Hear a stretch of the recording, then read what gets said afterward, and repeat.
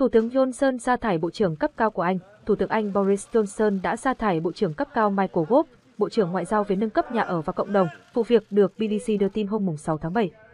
Tin tức này được đưa ra khi Johnson tiếp tục bất chấp áp lực từ các bộ trưởng cấp cao một cuộc nổi dậy đang gia tăng trong đảng để yêu cầu ông từ chức vào thứ tư. Johnson đã thể sẽ tiếp tục là thủ tướng và chống lại mọi nỗ lực lật đổ ông. Một nguồn tin cho biết, sau hơn 30 đơn từ chức trong chính phủ và nhiều nhà lập pháp trong đảng bảo thủ của ông trong cuộc nổi dậy công khai, một số bộ trưởng trong nội các đã đến phố Downing để nói với Johnson rằng ông cần từ chức.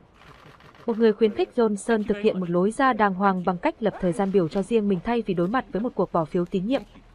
Nhưng bất chấp những lời kêu gọi ông từ chức, Johnson vẫn tiếp tục tập trung vào các vấn đề quan trọng, một nguồn tin chính phủ cho biết sau cuộc họp của ông với các thành viên trong nhóm nội các hàng đầu của mình. Một người thuộc đảng bảo thủ cấp cao cho biết thủ tướng đang tiếp tục nghiên cứu vấn đề.